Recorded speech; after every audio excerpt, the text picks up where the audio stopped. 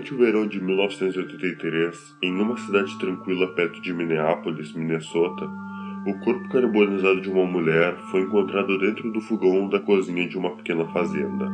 Uma câmera de vídeo também foi encontrada na cozinha, sobre um tripé, apontado para o forno. Nenhuma fita foi encontrada no interior da câmera no momento.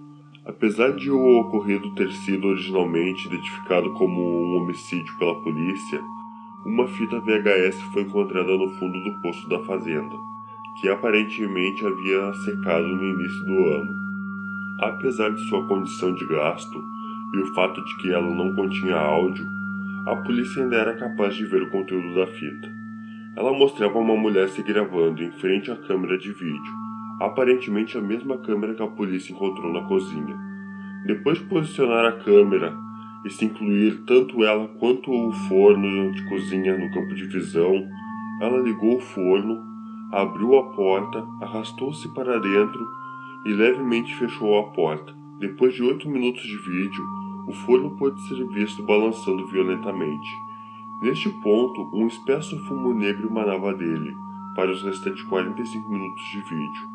Até que a bateria acabasse, a câmera manteve sua condição parada. Para evitar transtornos para a comunidade local, a polícia não divulgou nenhuma informação sobre a fita, ou até o fato da mesma ter sido encontrada.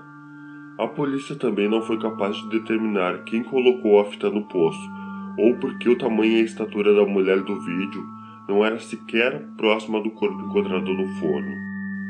E então, meus caros amigos, o que você achou dessa história? Quem será que estava no forno? Se vocês gostaram, deixe seu gostei, se inscreva no canal se já não for inscrito. Se puder, também peço que compartilhe nosso vídeo em suas redes sociais para poder ajudar a divulgar o canal. Também peço que visite o canal dos meus amigos, que o link está na descrição. E até a próxima, meus caros.